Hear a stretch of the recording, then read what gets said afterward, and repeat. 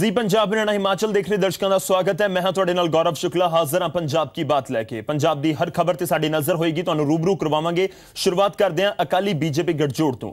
ਜੀ ਹਾਂ, ਪੰਜਾਬ ਬੀਜੇਪੀ ਦੇ ਮੁਖੀ ਵਿਜੇ ਸੰਪਲਾ ਚੰਡੀਗੜ੍ਹ ਦੇ ਵਿੱਚ ਪੰਜਾਬ ਦੇ ਮੁੱਖ ਮੰਤਰੀ ਸਰਦਾਰ ਪ੍ਰਕਾਸ਼ ਸਿੰਘ ਬਾਦਲ ਦੇ ਨਾਲ ਮਿਲਣ ਪਹੁੰਚੇ। ਮਨਾਇਆ ਗਿਆ ਕਿ ਯੋਗ ਦਿਹਾੜੀ ਦੀਆਂ ਤਿਆਰੀਆਂ ਸਾਹਮਣੇ ਸੂਬੇ ਦੀ ਕਾਨੂੰਨ ਵਿਵਸਥਾ ਉੱਤੇ ਵਿਜੇ ਸੰਪਲਾ ਨੇ ਮੁੱਖ ਮੰਤਰੀ ਬਾਦਲ ਨਾਲ ਮੁਲਾਕਾਤ ਕੀਤੀ ਹੈ।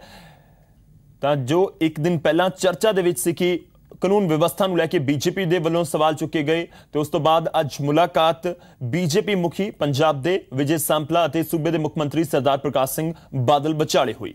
ਚੰਡੀਗੜ੍ਹ ਦੇ ਵਿੱਚ ਇਹ ਮੁਲਾਕਾਤ ਹੋਈ ਹੈ। ਤੇ 21 ਜੂਨ ਨੂੰ ਜਿਹੜਾ ਚੰਡੀਗੜ੍ਹ ਦੇ ਵਿੱਚ ਯੋਗ ਦਿਹਾੜਾ ਕੌਮਾਂਤਰੀ ਯੋਗ ਦਿਹਾੜਾ ਮਨਾਇਆ ਜਾਣਾ ਜਿਸ ਦੇ ਵਿੱਚ ਪ੍ਰਧਾਨ ਮੰਤਰੀ ਨਰਿੰਦਰ ਮੋਦੀ ਵੀ ਹਿੱਸਾ ਲੈਣਗੇ, ਉਹ ਵੀ ਸ਼ਾਮਲ ਹੋਣਗੇ।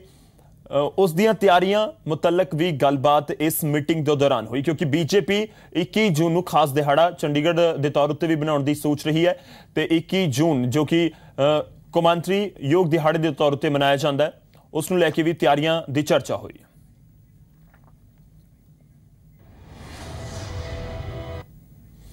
ਅੱਗੇ ਵਧਦੇ ਤੇ ਹੁਣ ਗੱਲ ਬੀਜੇਪੀ ਦੇ ਕੌਮੀ ਪ੍ਰਧਾਨ ਦੀ ਜੀ ਹਾਂ ਬੀਜੇਪੀ ਪ੍ਰਧਾਨ ਅਮਿਤ ਸ਼ਾਹ ਨੇ ਕਿਹਾ ਕਿ ਉਹਨਾਂ ਨੂੰ ਪੂਰੇ ਮਾਮਲੇ ਦੀ ਜਾਣਕਾਰੀ ਨਹੀਂ ਹੈ ਪਰ ਸੂਬੇ ਦੀ ਅਮਨ ਕਾਨੂੰਨ ਤੇ ਫਿਕਰ ਜ਼ਾਹਰ ਕਰਨਾ ਗਲਤ ਨਹੀਂ ਹੈ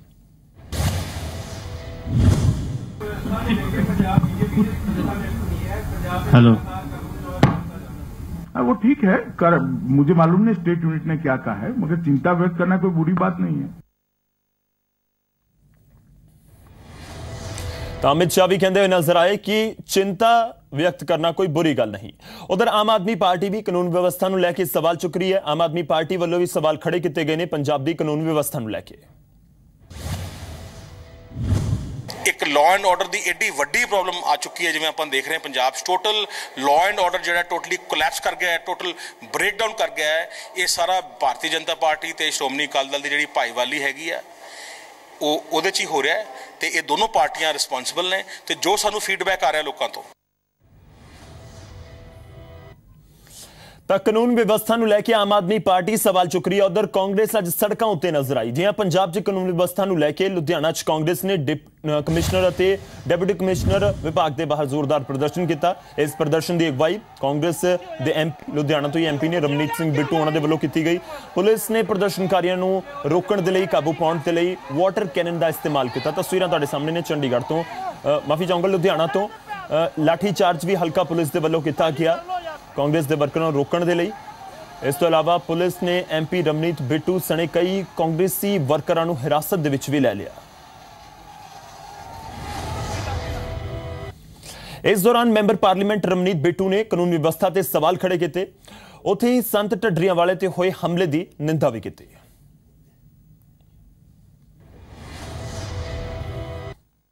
और आप हैरान हो रहे हैं भी हर रोज शरेआम गैंग वॉर जो जैसे कभी न्यूयॉर्क में पहले होती थी, शर्म से सिर झुकता है। जब वो कह रहे हैं, लगातार स्टेटमेंट्स आ रही हैं भी पंजाब सबसे पीसफुल स्टेट है और पंजाब सबसे अमन जहाँ पे है, वहाँ वो स्टेट है। बा डंडरिया वाले हैं। आप कभी सोच सकते हो टेररिज्म के दौरान भी पाँच सात लोग आते थे अगर गोलियाँ चलाते थे तो 40 लोग इकट्ठे असला लेके और शबीर लगाते हैं और दो घंटे वहाँ प्लानिंग करते हैं वो जीटी रोड पे बैठ के। और उसके बाद जब बाबा आते हैं और उनको आधा दिन गोलियाँ चलाने के बाद चार किलोमीटर पीछा करते हैं तो आज तक कोई मास्टरमाइंड पता नहीं। ਤਾਂ ਕਾਨੂੰਨ ਵਿਵਸਥਾ ਨੂੰ ਲੈ ਕੇ ਵਿਰੋਧੀ ਧਿਰਾਂ ਦੇ ਵੱਲੋਂ ਲਗਾਤਾਰ ਸਵਾਲ ਚੁੱਕੇ ਜਾ ਰਹੇ ਨੇ ਕਿ ਪੰਜਾਬ ਦੇ ਵਿੱਚ ਕਾਨੂੰਨ ਵਿਵਸਥਾ ਠੀਕ ਨਹੀਂ ਹੈ ਤੇ ਦੂਜੇ ਪਾਸੇ ਅਕਾਲੀ ਦਲ ਦਾ ਦਾਅਵਾ ਹੈ ਕਿ ਸੂਬੇ 'ਚ ਕਾਨੂੰਨ ਵਿਵਸਥਾ ਠੀਕ ਹੈ। ਅੱਗੇ ਵਧਦੇ ਹਾਂ। ਪੰਜਾਬ 'ਚ ਅਕਾਲੀ ਦਲ ਸਾ- ਸਾਡਾ ਵੱਡਾ ਭਰਾ ਹੈ। ਅਮਿਤ ਸ਼ਾਹ, ਦੋਵੇਂ ਪਾਰਟੀਆਂ ਮਿਲ ਕੇ ਲੜਨਗੀਆਂ ਚੋਣਾਂ ਅਮਿਤ ਸ਼ਾਹ ਦੇ ਵੱਲੋਂ ਕਿਹਾ ਗਿਆ, ਤੁਹਾਨੂੰ ਦੱਸ ਦਈਏ ਕਿ ਕੌਮੀ ਪ੍ਰਧਾਨ ਨੂੰ ਅੱਜ ਸਵਾਲ ਪੁੱਛਿਆ ਗਿਆ ਤਾਂ ਉਹਨਾਂ ਨੇ ਕਿਹਾ ਕਿ ਵੱਡਾ ਭਰਾ ਅਕਾਲੀ ਦਲ ਹੈ ਪੰਜਾਬ ਦੇ ਵਿੱਚ। 23 ਸੀਟਾਂ ਤੇ ਚੋਣ ਲੜਨ ਬਾਰੇ ਅਜੇ ਕੋਈ ਚਰਚਾ ਨਹੀਂ ਹੋਈ। ਇਹ ਵੀ ਕਿਹਾ ਗਿਆ ਬੀਜੇਪੀ ਦੇ ਕੌਮੀ ਪ੍ਰਧਾਨ ਅਮਿਤ ਸ਼ਾ- ਅਮਿਤ ਸ਼ਾਹ ਦੇ ਵੱਲੋਂ। ਪੰਜਾਬ ਦੀ ਕਾਨੂੰਨ ਵਿਵਸਥਾ ਬਾਰੇ ਉਹਨਾਂ ਨੇ ਕਿਹਾ ਕਿ ਮੈਨੂੰ ਜਾਣਕਾਰੀ ਨਹੀਂ ਹੈ। ਸਟੇਟ ਯੂਨਿਟ ਵੱਲੋਂ ਚਿੰਤਾ ਪ੍ਰਗਟ ਕਰਨਾ ਗਲਤ ਨਹੀਂ ਹੈ, ਇਹ ਵੀ ਅਮਿਤ ਸ਼ਾਹ ਦੇ ਵੱਲੋਂ ਕਿਹਾ ਗਿਆ।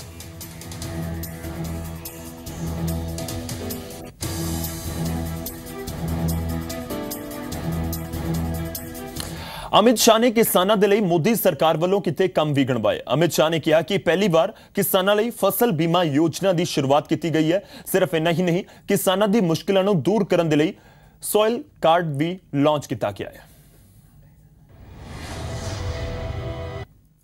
प्रधानमंत्री फसल बीमा योजना लेकर ये सरकार आई है जो पहले फसल बीमा योजनाएं थी उसमें जितने भी किसानों को परेशानी करने वाले बिंदु थे वो सभी को निरस्त करके एक कह सकते सर्वांग संपूर्ण प्रधानमंत्री फ़सल बीमा योजना लेकर मोदी सरकार सॉइल हेल्थ कार्ड के माध्यम से करीब 14 करोड़ किसानों के खेत के अंदर जो ज़मीन की प्रत है, वो कैसी है, किस प्रकार का क्रॉप अंदर हो सकता है, कितना खाद चाहिए, कितना पेस्टिसाइड चाहिए और कितना पानी चाहिए इसकी वैज्ञानिक जानकारी किसानों को देने का एक लक्ष्य रखा है और लगभग लगभग एक करोड़ अस्सी लाख से ज़्यादा लोगों को देने का काम समाप्त हो चुका है।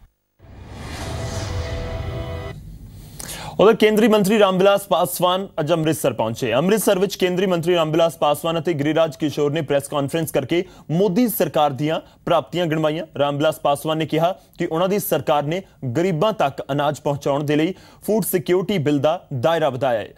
ਗਰੀਬਾਂ ਤੱਕ ਸਸਤੀ ਕੀਮਤ ਤੇ ਅਨਾਜ ਦਿੱਤਾ ਜਾ ਰਿਹਾ ਹੈ। ਸਿਰਫ ਇੰਨਾ ਹੀ ਨਹੀਂ, ਉਹਨਾਂ ਦੱਸਿਆ ਕਿ ਰਾਸ਼ਨ ਕਾਰਡ ਵਿੱਚ ਹੋਣ ਵਾਲੀਆਂ ਗੜਬੜੀਆਂ ਨੂੰ ਰੋਕਣਾ ਰੋਕਿਆ ਗਿਆ ਹੈ ਤੇ ਜਿਸ ਨਾਲ ਸਰਕਾਰ ਨੂੰ ਕਰੋੜਾਂ ਰੁਪਏ ਦੀ ਬਚਤ ਹੋਈ ਹੈ ਤੇ ਭ੍ਰਿਸ਼ਟਾਚਾਰ ਤੇ ਲਗਾਮ ਲੱਗੀ ਹੈ।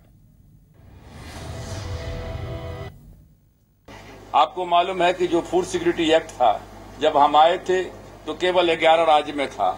वो भी 11 राज्य में जो है पूर्ण रूपेण लागू नहीं हुआ था। आज कभी करीब सभी राज्य में हो गया है, और ये कोई मामूली चीज़ नहीं है।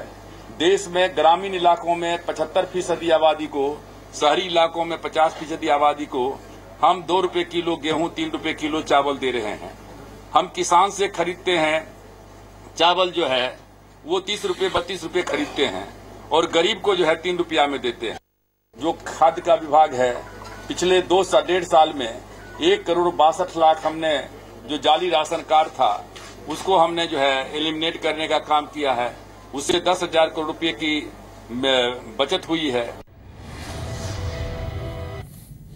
ਅੱਗੇ ਵਧਦੇ ਹਾਂ ਤੇ ਗੱਲ ਰਾਜ ਸਭਾ ਚੋਣਾਂ ਦੀ ਜੀ ਹਾਂ ਪੰਜਾਬ ਦੀਆਂ ਦੋ ਰਾਜ ਸਭਾ ਦੀਆਂ ਸੀਟਾਂ ਖਾਲੀ ਹੋਈਆਂ ਨੇ ਤੇ ਅਕਾਲੀ ਦਲ ਦੇ ਉਮੀਦਵਾਰ ਬਲਵਿੰਦਰ ਸਿੰਘ ਪੁੰਦੜ ਨੇ ਅੱਜ ਪੰਜਾਬ ਤੋਂ ਰਾਜ ਸਭਾ ਚੋਣਾਂ ਦੇ ਲਈ ਨਾਮਜ਼ਦਗੀ ਦਾਖਲ ਕਰ ਦਿੱਤੀ ਹੈ। ਅਕਾਲੀ ਦਲ ਦੇ ਉਮੀਦਵਾਰ ਬਲਵਿੰਦਰ ਸਿੰਘ ਪੁੰਦੜ ਨੇ ਉਪ ਮੁੱਖ ਮੰਤਰੀ ਸੁਖਬੀਰ ਸਿੰਘ ਬਾਦਲ ਦੀ ਮੌਜੂਦਗੀ ਵਿੱਚ ਰਾਜ ਸਭਾ ਚੋਣਾਂ ਦੇ ਲਈ ਨਾਮਜ਼ਦਗੀ ਦਾਖਲ ਕਰ ਦਿੱਤੀ। ਇਸ ਮੌਕੇ ਤੇ ਬਲਵਿੰਦਰ ਸਿੰਘ ਪੁੰਦੜ ਨੇ ਕਿਹਾ ਕਿ ਮੁੜ ਤੋਂ ਰਾਜ ਸਭਾ ਦੇ ਲਈ ਚੁਣੇ ਜਾਣ ਉੱਤੇ ਉਹ ਸੂਬੇ ਦੇ ਕਿਸਾਨਾਂ ਦਾ ਮੁੱਦਾ ਚੁੱਕਣਗੇ। ਪੁੰਦੜ ਦੀ ਮੰਨੀਏ ਤਾਂ ਪੰਜਾਬ ਨੇ ਦੇਸ਼ ਦੀ ਭੁੱਖ ਮਿਟਾਉਣ ਵਿੱਚ ਅਹਿਮ ਭੂਮਿਕਾ ਨਿਭਾਈ ਹੈ, ਪਰ ਦਿੱਲੀ ਤੋਂ ਸੂਬੇ ਨੂੰ ਕਦੇ ਵੀ ਉਸ ਦਾ ਜਾਇਜ਼ ਹੱਕ ਨਹੀਂ ਮਿਲਿਆ। ਇਸ ਗੱਲ 'ਚ ਕੋਈ ਸ਼ੱਕ ਨਹੀਂ ਕਿ ਪੰਜਾਬ ਦੀ ਨਹੀਂ, ਦੇਸ਼ ਦੀ ਕਿਸਾਨੀ ਸੰਕਟ 'ਚ ਹੈ। ਲੇਕਿਨ ਪੰਜਾਬ ਦਾ ਸਾਨੂੰ ਦੁੱਖ ਹੈ ਕਿ ਪੰਜਾਬ ਦੀ ਕਿਸਾਨੀ ਨੇ ਹਮੇਸ਼ਾ ਦੇਸ਼ ਦੀ ਬੜੀ ਵੱਡੀ ਸੇਵਾ ਕੀਤੀ ਹੈ ਜੋ ਉਸ ਦੇ ਬਦਲੇ ਸਾਨੂੰ ਮਿਲਣਾ ਚਾਹੀਦਾ ਸੀ ਦਿੱਲੀ ਤੋਂ ਉਹ ਸਾਨੂੰ ਸਾਡਾ ਹੱਕ ਨਹੀਂ ਮਿਲਿਆ। ਬਲਵਿੰਦਰ ਸਿੰਘ ਭੁੰਦੜ ਦੇ ਮੁਤਾਬਕ ਸਵਾਮੀਨਾਥਨ ਰਿਪੋਰਟ ਜਦੋਂ ਤੱਕ ਲਾਗੂ ਨਹੀਂ ਹੁੰਦੀ ਦੇਸ਼ ਦੇ ਕਿਸਾਨਾਂ ਦੇ ਹਾਲਾਤ ਵਿੱਚ ਸੁਧਾਰ ਨਹੀਂ ਹੋ ਸਕਦਾ। ਤੇ ਅੱਜ ਵੀ ਜ਼ੋਰ ਨਾਲ ਅਸੀਂ ਕਹਿੰਦੇ ਆ ਕਿ ਜਿੰਨਾ ਚਿਰ ਸਵਾਮੀਨਾਥਨ ਰਿਪੋਰਟ ਜਾਂ ਉਸ ਦੇ ਤਰ੍ਹਾਂ ਕਿਸਾਨੀ ਦੇ ਨੂੰ ਨਹੀਂ ਫਾਇਦੇ ਦਿੱਤੇ ਜਾਣਗੇ ਤਾਂ ਕਿਸਾਨੀ ਦਿਨ ਦਿਨ ਸੰਕਟ ਜਾ ਰਹੀ ਹੈ 'ਚ ਕੋਈ ਸ਼ੱਕ ਨਹੀਂ। ਸਰਦਾਰ ਬਲਵਿੰਦਰ ਸਿੰਘ ਭੁੰਦੜ ਜੀ ਆਪਣਾ ਨੋਮੀਨੇਸ਼ਨ ਇੱਥੇ ਫਾਈਲ ਕਰ ਗਏ ਹੈ ਸੋ ਅਗਰ ਵਿਡਰਾਲ ਵਾਲੇ ਦਿਨ ਤੱਕ ਦੋ ਹੀ ਨੋਮੀਨੇਸ਼ਨਸ ਰਹੀਆਂ तो 3 ਵਜੇ 3 ਤਰੀਕ ਨੂੰ 3 ਵਜੇ ਤੋਂ ਬਾਅਦ ਰਿਜ਼ਲਟ ਹੋਪਫੁਲੀ ਡਿਕਲੇਅਰ ਕਰ ਦਿਆਂਗੇ। ਹਾਲਾਂਕਿ ਦੋ ਹੀ ਉਮੀਦਵਾਰਾਂ ਦੀ ਨਾਮਜ਼ਦਗੀ ਦਾਖਲ ਕਰਨ ਦੀ ਹਾਲਾਤ ਵਿੱਚ ਚੋਣਾਂ ਨਹੀਂ ਕਰਵਾਈਆਂ ਜਾਣਗੀਆਂ। ਚੰਡੀਗੜ੍ਹ ਤੋਂ ਨਿਹਾ ਸ਼ਰਮਾ ਦੇ ਨਾਲ ਬਿਊਰੋ ਰਿਪੋਰਟ ਜ਼ੀ ਮੀਡੀਆ। ਅੱਗੇ ਵਧਦੇ ਹਾਂ ਤੇ ਗੱਲ ਜ਼ੀ ਪੰਜਾਬ, ਹਰਿਆਣਾ, ਹਿਮਾਚਲ ਨੂੰ। ਪੰਜਾਬ ਦੇ ਵਿੱਚ ਨਿੱਜੀ ਕੇਬਲ ਆਪਰੇਟਰ ਦੇ ਵੱਲੋਂ ਬਲੈਕਆਊਟ ਕਰਨ ਦੇ ਮੁੱਦੇ ਦੀ। ਜੀ ਹਾਂ, ਜ਼ੀ ਪੰਜਾਬ, ਹਰਿਆਣਾ, ਹਿਮਾਚਲ ਨੂੰ ਨਿੱਜੀ ਕੇਬਲ ਆਪਰੇਟਰ ਵੱਲੋਂ ਬਲੈਕਆਊਟ ਕਰਨ ਦੇ ਖਿਲਾਫ ਆਮ ਆਦਮੀ ਪਾਰਟੀ ਦੇ ਆਗੂ ਹਿੰਮਤ ਸਿੰਘ ਸ਼ੇਰਗਿੱਲ ਨੇ ਕਿਹਾ ਕਿ ਇਹ ਚੈਨਲ ਆਪਣੀ ਨਿਰਪੱਖਤਾ ਦੇ ਲਈ ਜਾਣਿਆ ਜਾਂਦਾ ਹੈ, ਜਿਸ ਤੇ ਕਾਰਵਾਈ ਕੀਤੀ ਗਈ ਹੈ। ਇਸ ਦਾ ਜਵਾਬ ਜਨਤਾ ਦੇਵੇਗੀ। ਇਸ ਦੇ ਨਾਲ ਹੀ ਉਹਨਾਂ ਕਿਹਾ ਕਿ ਜ਼ੀ ਪੰਜਾਬ, ਹਰਿਆਣਾ, ਹਿਮਾਚਲ ਦੇ ਸੰਪਾਦਕ ਦਿਨੇਸ਼ ਸ਼ਰਮਾ ਦੀ ਅਗਵਾਈ ਦੇ ਵਿੱਚ ਚੈਨਲ ਬੁਲੰਦੀਆਂ ਤੇ ਪਹੁੰਚ ਗਿਆ ਹੈ। ਜਦੋਂ ਦੇ ਦਿਨੇਸ਼ ਜੀ ਹੈੱਡ ਬਣਿਆ ਸੱਚ ਦਿਖਾ ਰਿਹਾ ਸੀਗਾ। ਲੋਕਾਂ ਦੀ ਆਵਾਜ਼ ਨੂੰ ਸਾਰੇ ਪੰਜਾਬ 'ਚ ਤੇ ਕਈ ਦੇਸ਼ਾਂ ਦੇ ਵਿੱਚ ਲੈ ਕੇ ਜਾ ਰਿਹਾ ਸੀਗਾ। 100 ਤੋਂ ਵੀ ਉੱਪਰ ਦੇਸ਼ਾਂ 'ਚ ਇਹ ਆਵਾਜ਼ ਜਾ ਰਹੀ ਸੀਗੀ ਤੇ ਪੰਜਾਬ ਦੇ ਹਰ ਪਿੰਡ 'ਚ, ਹਰ ਘਰ ਦੇ ਵਿੱਚ ਨੰਬਰ 1 ਜਿਹੜਾ ਸੀਗਾ, ਚੱਲ ਰਿਹਾ ਸੀਗਾ ਤੇ ਇਹਨਾਂ ਨੇ ਬਹੁਤ ਬੁਜ਼ਦਲੀ ਕਰਕੇ, ਬਹੁਤ ਇਹਨਾਂ ਨੇ ਜਿਹਨੂੰ ਮੈਂ ਕਹੂੰਗਾ ਇੱਕ ਐਮਰਜੈਂਸੀ ਜਿਵੇਂ ਐਮਰਜੈਂਸੀ ਵਾਲੇ ਟਾਈਮ ਦਾ, ਉਸ ਤਰ੍ਹਾਂ ਦਾ ਮੀਡੀਆ ਐਮਰਜੈਂਸੀ ਇੱਥੇ ਲਿਆ ਕੇ ਇਹਨਾਂ ਨੇ ਇਹ ਬਲੈਕ ਆਊਟ ਕੀਤਾ ਹੈ। ਕਿ ਜਦੋਂ ਜਦੋਂ ਵੀ ਪੰਜਾਬੀਆਂ ਦੀ ਆਵਾਜ਼ ਨੂੰ ਕੁਚਲਣ ਦੀ ਕੋਸ਼ਿਸ਼ ਕਿਸੇ ਨੇ ਕੀਤੀ ਆ, ਦਬਾਉਣ ਦੀ ਕੋਸ਼ਿਸ਼ ਕੀਤੀ ਆ, ਪੰਜਾਬੀ ਹੋਰ ਵੀ ਉਭਰੇ ਨੇ। ਅੱਜ ਪਿੰਡ ਪਿੰਡ ਘਰ ਘਰ ਪਤਾ ਲੱਗ ਗਿਆ ਕਿ ਜੀ ਪੰਜਾਬ ਹਿਮਾਚਲ ਹਰਿਆਣਾ ਦੇ ਨਾਲ ਧੱਕਾ ਹੋਇਆ ਹੈ ਤੇ ਉਸ ਧੱਕੇ ਦਾ ਜਵਾਬ ਵੀ ਇਹਨਾਂ ਨੂੰ 2017 ਚ ਮਿਲੂਗਾ। ਅੱਗੇ ਵਧਦੇ ਹਾਂ ਤੇ ਕੇਂਦਰੀ ਮੰਤਰੀ ਰਾਮਬਿਲਾਸ ਪਾਸਵਾਨ ਅੱਜ ਅੰਮ੍ਰਿਤਸਰ ਦੇ ਵਿੱਚ ਸਨ। ਆਮ ਆਦਮੀ ਪਾਰਟੀ ਦੇ ਪੰਜਾਬ ਮਿਸ਼ਨ ਨੂੰ ਲੈ ਕੇ ਕੇਂਦਰੀ ਮੰਤਰੀ ਰਾਮਬਿਲਾਸ ਪਾਸਵਾਨ ਨੇ ਕੇਜਰੀਵਾਲ ਨੂੰ ਨਸੀਹਤ ਦਿੱਤੀ ਹੈ। ਪੰਜਾਬ ਦੀ ਸਿਆਸਤ ਵਿੱਚ ਆਪਣਾ ਕੱਦ ਵਧਾਉਣ ਦੀ ਕੋਸ਼ਿਸ਼ ਦੇ ਵਿੱਚ ਲੱਗੀ। ਆਮ ਆਦਮੀ ਪਾਰਟੀ ਤੇ ਕੇਂਦਰੀ ਮੰਤਰੀ ਅਤੇ ਐਲਜੇਪੀ ਮੁਖੀ ਰਾਮਬਿਲਾਸ ਪਾਸਵਾਨ ਨੇ ਚੁਟਕੀ ਲਈ ਹੈ। ਅੰਮ੍ਰਿਤਸਰ 'ਚ ਜਦੋਂ ਉਹਨਾਂ ਤੋਂ ਸਵਾਲ ਕੀਤਾ ਗਿਆ ਕਿ ਕੇਜਰੀਵਾਲ ਪੰਜਾਬ ਦੇ ਦੌਰੇ ਕਰ ਰਹੇ ਨੇ, ਤਾਂ ਉਹਨਾਂ ਨੇ ਕਿਹਾ ਕਿ ਆਮ ਆਦਮੀ ਪਾਰਟੀ ਸਿਰਫ ਦਿੱਲੀ ਵਿੱਚ ਹੈ। ਅਤੇ ਉਸ ਨੂੰ ਵੀ ਸੰਭਾਲ ਨਹੀਂ ਪਾ ਰਹੇ हम आम आदमी पार्टी ये कह देते हैं कि दिल्ली में है वही दिल्ली संभाल ले तो बहुत बड़ी चीज है आज पहले जहाँ पहले जहाँ उनका दिल्ली में है वहाँ सरगर्मी तो बरकरार रखें ਰਾਮਬਿਲਾਸ ਪਾਸਵਾਨ ਨੇ ਐਮਸੀਡੀ ਉਪਚੋਣਾਂ ਦੇ ਨਤੀਜਿਆਂ ਦਾ ਜ਼ਿਕਰ ਕਰਦੇ ਹੋਏ ਆਮ ਆਦਮੀ ਪਾਰਟੀ ਤੇ ਨਿਸ਼ਾਨਾ ਲਗਾਇਆ ਅਤੇ ਕਿਹਾ ਕਿ ਦੂਰ ਦੇ ਢੋਲ ਸੁਹਾਵਣੇ ਲੱਗਦੇ ਨੇ अभी तेरह जगह पर चुनाव हुआ केवल चार या पांच सीट मिला और चार सीट और लोग वहाँ उनसे ज्यादा क्या कहते हैं कि उतना ही मिल गया क्या कहते हैं भाजपा को तो, और कांग्रेस को भी मिला इसलिए जो है दूर का ढोल सुहाना लगता है ਰਾਮਬਿਲਾਸ ਪਾਸਵਾਨ ਦੇ ਬਿਆਨ ਤੇ ਪਲਟਵਾਰ ਕਰਦੇ ਹੋਏ ਆਮ ਆਦਮੀ ਪਾਰਟੀ ਨੇ ਜਵਾਬ ਦੇਣ ਦੀ ਕੋਸ਼ਿਸ਼ ਕੀਤੀ ਹੈ ਪਾਸਵਾਨ ਜੀ ਨੂੰ ਪੰਜਾਬ ਦੇ ਲੋਕ ਜਵਾਬ ਦੇਣਗੇ ਇਸ ਵੇਲੇ ਪਾਸਵਾਨ ਜੀ ਨੂੰ ਕਹੋ ਜਾ ਕੇ ਸੀ ਵੋਟਰ ਤੋਂ ਜਵਾਬ ਲੈ ਕੇ ਆਉਣ ਜਿਨ੍ਹਾਂ ਨੇ 100 ਸੀਟਾਂ ਆਮ ਆਦਮੀ ਪਾਰਟੀ ਦੀਆਂ ਕਹੀਆਂ ਹੈ ਉੱਥੇ ਪੰਜਾਬ ਵਿਧਾਨ ਸਭਾ ਚੋਣਾਂ ਵਿੱਚ ਲੋਕ ਜਨਸ਼ਕਤੀ ਪਾਰਟੀ ਦੀ ਕੀ ਭੂਮਿਕਾ ਹੋਏਗੀ? ਇਸ ਉੱਤੇ ਉਹਨਾਂ ਨੇ ਕਿਹਾ ਕਿ ਸਮੇਂ ਆਉਣ ਉੱਤੇ ਇਸ ਦਾ ਖੁਲਾਸਾ ਕੀਤਾ ਜਾਏਗਾ। Rajan Gosain, Zee Media, Amritsar. ਅੱਗੇ ਵਧਦੇ ਹਾਂ ਗੱਲ ਕੁਰੂਕਸ਼ੇਤਰ ਦੇ ਵਿੱਚ, ਜੋ ਰੋਡਵੇਜ਼ ਦੀ ਬੱਸ ਦੇ ਵਿੱਚ ਧਮਾਕਾ ਹੋਇਆ ਸੀ ਉਸ ਦੀ ਕੁਰੂਕਸ਼ੇਤਰ 'ਚ ਹਰਿਆਣਾ ਰੋਡਵੇਜ਼ ਦੀ ਬੱਸ 'ਚ ਹੋਏ ਧਮਾਕੇ ਦੇ ਮਾਮਲੇ 'ਚ ਹਰਿਆਣਾ ਸਰਕਾਰ ਨੇ ਮੁਲਜ਼ਮਾਂ ਦੀ ਜਾਣਕਾਰੀ ਦੇਣ ਉੱਤੇ 10 ਲੱਖ ਦੇ ਇਨਾਮ ਦਾ ਐਲਾਨ ਕਰ ਦਿੱਤਾ ਹੈ। ਹਰਿਆਣਾ ਦੇ ਡੀਜੀਪੀ ਕੇਪੀ ਸਿੰਘ ਨੇ ਕਿਹਾ ਕਿ ਦਹਿਸ਼ਤਗਰਦੀ ਸਰਗਰਮੀ ਹੋਣ ਤੋਂ ਇਨਕਾਰ ਨਹੀਂ ਕੀਤਾ ਜਾ ਸਕਦਾ। ਉਧਰ ਇਸ ਮਾਮਲੇ ਦੀ ਜਾਂਚ 'ਚ ਐਨਆਈਏ ਐਸਆਈਟੀ ਦੀ ਮਦਦ ਕਰੇਗੀ। ਐਨਆਈਏ ਦੀ ਦੋ ਮੈਂਬਰੀ ਟੀਮ ਕੁਰੂਕਸ਼ੇਤਰ ਪਹੁੰਚੀ। ਉਧਰ ਕਿਹਾ ਗਿਆ ਕਿ ਜੇਕਰ ਧਮਾਕੇ ਵਿੱਚ ਦਹਿਸ਼ਤਗਰਦੀ ਸਾਜ਼ਿਸ਼ ਦੇ ਤਾਰ ਜੁੜਦੇ ਨਜ਼ਰ ਆਉਂਦੇ ਨੇ ਤਾਂ ਐਨਆਈਏ ਜਾਂਚ ਆਪਣੇ ਹੱਥ ਵਿੱਚ ਲੈ ਸਕਦੀ ਹੈ। ਹਰਿਆਣਾ ਦੀ ਆਈਬੀ ਯੂਨਿਟ ਦੀ ਟੀਮ ਵੀ ਕੁਰੂਕਸ਼ੇਤਰ ਵਿੱਚ ਧਮਾਕੇ ਵਾਲੀ ਥਾਂ ਉੱਤੇ ਪਹੁੰਚ ਕੇ ਜਾਂਚ ਕਰ ਰਹੀ ਹੈ। ਟੀਮ ਦੇ ਐਕਸਪਰਟਸ ਨੇ ਬੱਸ ਦੇ ਅੰਦਰ ਫੋਰੈਂਸਿਕ ਸੈਂਪਲਸ ਇਕੱਠੇ ਕੀਤੇ ਨੇ। ਇਸ ਵਿਚਾਲੇ ਪੁਲਿਸ ਨੇ ਧਮਾਕਿਆਂ 'ਚ ਆਈਈਡੀ ਦੇ ਇਸਤੇਮਾਲ ਦਾ ਖਦਸ਼ਾ ਜਤਾਇਆ ਪੁਲਿਸ ਨੂੰ ਮੌਕੇ ਤੋਂ 12 ਵੋਲਟ ਦੀ ਇੱਕ ਸੜੀ ਹੋਈ ਬੈਟਰੀ ਅਤੇ ਕੁਝ ਤਾਰ ਵੀ ਬਰਾਮਦ ਹੋਏ। जो सेंट्रल एजेंसीज हैं उनकी भी मदद ली जा रही है। उनके साथ हमारा कोऑर्डिनेशन हरियाणा का जारी है और आज एनआईए की टीम भी यहाँ पे इसको एग्जामिन करने आई है। ब्लास्ट साइट को विज़िट किया है उन्होंने और जो बस है उसको भी देखा है और अभी उनसे हम तालमेल बना के आगे जो इन्वेस्टिगेशन होगी वो हम आगे चलाएँगे। एनआईए की टीम में कितने अधिकारी हैं ये अभी ये दो अधिकारी जो हैं ये आए हुए हैं। इनकी टीम है स्पेशल टीम जो पहले भी ब्लास्ट साइट्स पे जाती रही है।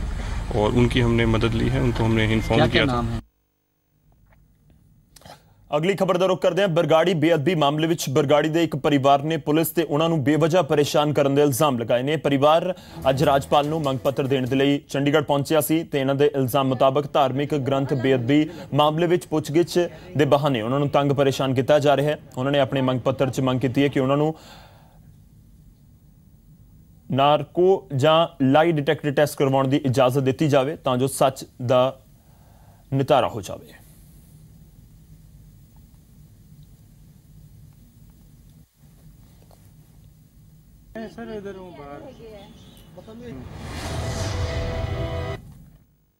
ਨੂੰ ਚੋਰ ਕੋਈ ਲੱਭਿਆ ਨਹੀਂ। ਸਾਨੂੰ ਇਹ ਬਾਰ-ਬਾਰ ਬੁਲਾ ਰਹੇ ਪਰੇਸ਼ਾਨ ਕਰ ਰਹੇ ਆ। ਦੋ ਵਾਰੀ ਮੁੰਡੇ ਨੂੰ ਟਾਰਚਰ ਵੀ ਕੀਤਾ। ਤੇ ਅਸੀਂ ਪਹਿਲੇ ਦਿਨ ਤੋਂ ਇਹਨਾਂ ਨੂੰ ਇਹ ਕਹਿੰਦੇ ਰਹੇ ਵੀ ਅਸੀਂ ਨਾਰਗੋ ਟੈਸਟ ਕਰਾਉਣ ਵਾਸਤੇ ਤਿਆਰ ਹਾਂ ਔਰ ਪੰਜਾਬ ਪੁਲਿਸ ਨੂੰ ਇਹ ਲਿਖਤੀ ਵੀ ਦਿੱਤਾ ਹੈ ਵੀ ਸਾਡਾ ਨਾਰਗੋ ਟੈਸਟ ਕਰਵਾਇਆ ਜਾਵੇ। ਆਂਦੇ ਨਹੀਂ, ਸਾਡਾ ਤਾਂ ਟੈਸਟ ਟੈਸਟ ਆਹ ਚੀਰ ਫੜ ਵਾਲਾ ਹੀ ਹੋਊਗਾ। ਸਾਨੂੰ ਦੀ ਲੋੜ ਨਹੀਂ। ਪਰ ਸਾਨੂੰ ਬਾਰ-ਬਾਰ ਅਸੀਂ ਇਹ ਮੈਮੋਰੈਂਡ ਬੇਸ ਵਾਸਤੇ ਦੇਣ ਆਏ ਸੀ ਵੀ ਸ- ਅਸੀਂ ਟੈਸਟ ਅੱਜ ਵੀ ਕਰਾਉਣ ਨੂੰ ਤਿਆਰ ਹਾਂ। ਬੇਸ਼ੱਕ ਟਾਰਚਰ ਹੋ ਗਏ ਆ ਪਰ ਫਿਰ ਵੀ ਟੈਸਟ ਕਰਾਉਣ ਵਾਸਤੇ ਤਿਆਰ ਹਾਂ ਤੇ ਸਾਨੂੰ ਪਲ- ਪੰਜਾਬ ਪੁਲਿਸ ਹੈ ਜਿਹੜੀ ਉਹ ਤੰਗ ਪਰੇਸ਼ਾਨ ਨਾ ਕਰੇ। ਸੀਬੀਆਈ ਦੀ ਜੋ ਜਾਂਚ ਚੱਲ ਰਹੀ ਹੈ, ਅਸੀਂ ਉਹਨਾਂ ਨੂੰ ਸਹਿਯੋਗ ਦਿੰਨੇ ਆ ਤੇ ਦੇ- ਦੇਵਾਂਗੇ ਵੀ। ਜਿਹੜੀ ਪੰਜਾਬ ਪੁਲਿਸ ਹੈ ਇਲੀਗਲੀ ਇੱਕ ਤਾਂ ਮੁੰਡੇ ਨੂੰ ਬਾਰ-ਬਾਰ ਅਰੈਸਟ ਕਰਦੀ ਹੈ, ਵੱਖ-ਵੱਖ ਥਾਣਿਆਂ 'ਚ ਲੈ ਜਾਂਦੀ ਹੈ। ਟੌਰਚਰ ਕਰ ਰਹੇ ਸਾਡੀ ਰਿਕੁਐਸਟ ਸੀ ਕਿ ਇਹਨਾਂ ਦਾ ਫੈਮਿਲੀ ਦਾ, ਜਦੋਂ ਫੈਮਿਲੀ ਕਹਿ ਰਹੀ ਹੈ ਕਿ ਸਾਡਾ ਨਾਰਕੋ ਟੈਸਟ ਕਰਾ ਲਓ ਲਾਈਟ ਡਿਟੈਕਟਰ ਟੈਸਟ ਕਰਵਾ ਲਓ, ਫਿਰ ਇਹਨਾਂ ਨੂੰ ਟੌਰਚਰ ਕਿਉਂ ਕੀਤਾ ਜਾ ਰਿਹਾ ਹੈ? ਤੇ ਅਸੀਂ ਗਵਰਨਰ ਸਾਹਿਬ ਨੂੰ ਅੱਜ ਕਿਹਾ ਹੈ ਕਿ ਇੱਕ ਤਾਂ ਇਹਨਾਂ ਦਾ ਜਿਹੜਾ ਵਾ ਤੁਸੀਂ ਸੀਬੀਆਈ ਨੂੰ ਡਾਇਰੈਕਟ ਕਰੋ ਕਿ ਇਹਨਾਂ ਦਾ ਨਾਰਕੋ ਟੈਸਟ ਹੋਏ ਲਾਈਟ ਡਿਟੈਕਟ ਟੈਸਟ ਹੋਏ। ਔਰ ਜਿਹੜਾ ਪੰਜਾਬ ਪੁਲਿਸ ਦਾ ਜਿਹੜਾ ਡੀਜੀਪੀ ਹੈ, ਉਹਨੂੰ ਡਾਇਰੈਕਸ਼ਨਸ ਦਿੱਤੀਆਂ ਜਾਣ ਕਿ ਫੈਮਿਲੀ ਨੂੰ ਬਾਰ-ਬਾਰ ਤੰਗ ਪਰੇਸ਼ਾਨ ਨਾ ਕਰੋ। ਅੱਗੇ ਵਧਦੇ ਹਾਂ ਤੇ ਗੱਲ ਨਸ਼ੇ ਦੇ ਮੁੱਦੇ ਦੀ। ਪੰਜਾਬ ਦੇ ਵਿੱਚ ਨਸ਼ੇ ਦੇ ਖਿਲਾਫ ਬੇਸ਼ੱਕ ਸਿਆਸਤ ਪੱਖੀ ਰਹਿੰਦੀ ਹੋਵੇ, ਪਰ ਇੱਕ ਵੱਡਾ ਵਰਗ ਅਜਿਹਾ ਵੀ ਹੈ ਜੋ ਸਿਰਫ ਹੰਗਾਮਾ ਨਹੀਂ, ਬਲਕਿ ਅਸਰ ਚਾਹੁੰਦਾ ਹੈ।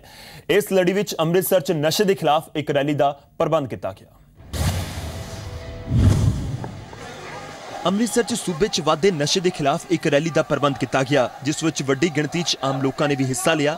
ਜ਼ਿਲ੍ਹਾ ਅਤੇ ਸੈਸ਼ਨ ਜੱਜ ਗੁਰਦੀਪ ਸਿੰਘ ਦੀ ਅਗਵਾਈ ਦੇ ਵਿੱਚ ਪੁਲਿਸ ਕਮਿਸ਼ਨਰ ਅਤੇ ਵੱਖ-ਵੱਖ ਸਕੂਲਾਂ ਦੇ ਵਿਦਿਆਰਥੀਆਂ ਨੇ ਹਾਲਗੇਟ ਤੋਂ ਜਲਿਆਂਵਾਲਾ ਬਾਗ ਤੱਕ ਮਾਰਚ ਕੀਤਾ ਅਤੇ ਲੋਕਾਂ ਨੂੰ ਨਸ਼ਾ ਛੱਡਣ ਦੀ ਅਪੀਲ ਕੀਤੀ। ਸਰ, ਸਾਡਾ ਮੈਸੇਜ ਇਹੀ ਹੈਗਾ ਵਾ ਕਿ ਦੁਨੀਆ ਦੇ ਵਿੱਚ ਸਭ ਤੋਂ ਵੱਡੀ ਬੁਰਾਈ ਨਸ਼ਾ ਹੈਗੀ ਹੈ, ਜੋ ਕਿ ਕਦੀ ਵੀ ਨਹੀਂ ਕਰਨਾ ਚਾਹੀਦਾ। ਤੋ ਕਦੀ ਵੀ ਸਰ ਨਸ਼ਾ ਨਾ ਕਰੋ ਤੇ ਨਾ ਕਰਨ ਦੇਵੋ ਅੱਜ ਅਸੀਂ ਰੈਲੀ ਕੱਢੀ ਹੋਈ ਹੈ ਨਸ਼ੇ ਦੇ ਵਿਰੁੱਧ ਜਿਹਦੇ ਵਿੱਚ ਅਸੀਂ ਲੋਕਾਂ ਨੂੰ ਤੇ ਸਾਰਿਆਂ ਨੂੰ ਜਾਗਰੂਕ ਕੀਤਾ ਵਾ ਕਿ ਨਾ ਤਾਂ ਅਸੀਂ ਨਸ਼ੇ ਕਰਾਂਗੇ ਨਾ ਕਿਸੇ ਨੂੰ ਕਰਨ ਦੇਵਾਂਗੇ। ਇਨਫੈਕਟ ਅਗਰ ਸਾਡੀ ਕੋਈ ਫੈਮਿਲੀ ਦੇ ਵਿੱਚ ਵੀ ਨਸ਼ਾ ਕਰਦਾ ਵਾ ਅਸੀਂ ਉਹਦੇ ਉੱਪਰ ਵੀ ਪੂਰੀ ਰੋਕ ਕਰਨ ਦੀ ਕੋਸ਼ਿਸ਼ ਕਰਾਂਗੇ। ਰੈਲੀ 'ਚ ਸ਼ਾਮਲ ਸੈਸ਼ਨ ਜੱਜ ਗੁਰਦੀਪ ਸਿੰਘ ਨੇ ਕਿਹਾ ਕਿ ਪੰਜਾਬ ਨੂੰ ਨਸ਼ੇ ਦੇ ਮੁੱਦੇ ਉੱਤੇ ਬਦਨਾਮ ਕੀਤਾ ਜਾ ਰਿਹਾ ਹੈ। ਸਮਾਜ ਦੇ ਲੋਕ ਆਪਣੇ ਆਪ ਨੂੰ ਇੰਟਰੋਸਪੈਕਟ ਨਹੀਂ ਕਰ ਰਹੇ।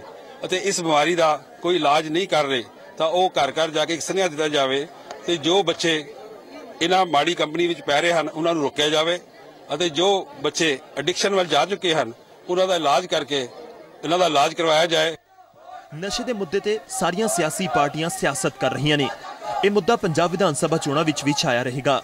ਪਰ ਨਸ਼ੇ ਦੇ ਖਿਲਾਫ ਜਿਸ ਤਰ੍ਹਾਂ ਨਾਲ ਸਮਾਜ ਦਾ ਹਰ ਵਰਗ ਖੜਾ ਹੋਣ ਲੱਗਾ ਏ, ਇਸ ਨਾਲ ਇਹ ਨਸ਼ਾ ਮੁਕਤ ਪੰਜਾਬ ਦੀ ਕਲਪਨਾ ਨੂੰ ਜ਼ਰੂਰ ਜ਼ੋਰ ਮਿਲਿਆ ਏ।